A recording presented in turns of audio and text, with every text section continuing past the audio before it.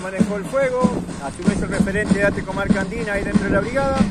Bueno, lo que estamos haciendo es visibilizando nuestro problema, lo que es, estamos solicitando lo que es alto riesgo, trabajo insalubre, una jubilación anticipada por lo que implica esta función.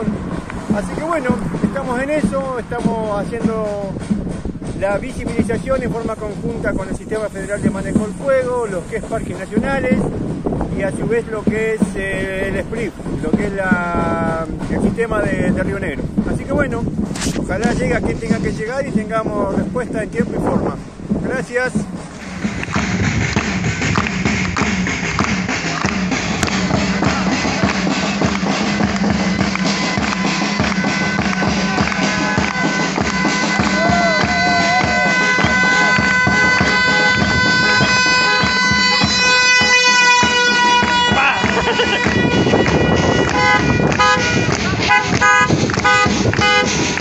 Bye.